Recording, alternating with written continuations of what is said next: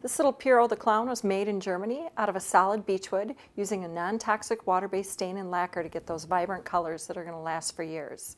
He's tested by a third-party lab, so he meets and exceeds all of the USA safety requirements. The Haba Piro rattles, and he's threaded on an elastic band, so he bends really easily and will provide years of entertainment. This is the Haba Piro rattle.